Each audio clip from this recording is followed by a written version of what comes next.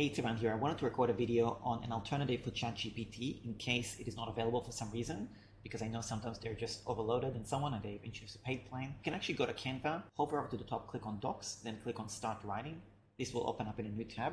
And then what you do is you click on the plus button, click on Magic Write, and then you would start, say, please type or type a headline, subheadline, three bullet points on why someone should download my free checklist that shows people how to launch podcasts without any experience and doing so successfully in 2023. Let's just say.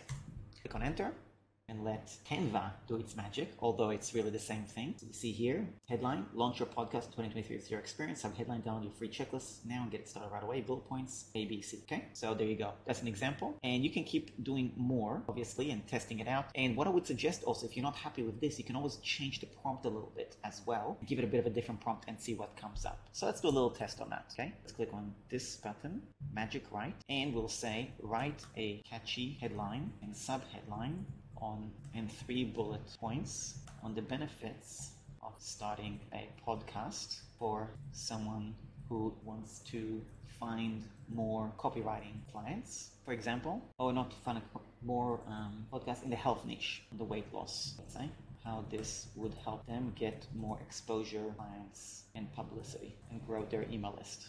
Okay? You're basically kind of telling a robot, hey, this is what I want do it for me.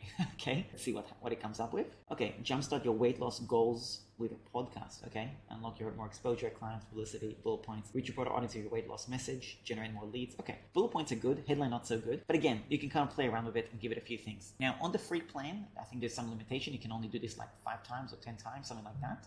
But on the paid plan, you can do it as many times as you like. So anyway, just a little alternative for ChatGPT, so you can go ahead and explore that as well, just to save you a little bit of time and just get your brainstorm, uh, get some brainstorming ideas. And what I would say also is, I'm not a big fan of using this strategy personally because I like to write my own content from scratch. However, if you're staring at a blank page, it's a waste of time. So go to Canva, generate some ideas, get the wheels turning, and then add your own creativity and personality to really make sure that it's your message that's communicating to your ideal customer. If you have any questions, let me know good luck.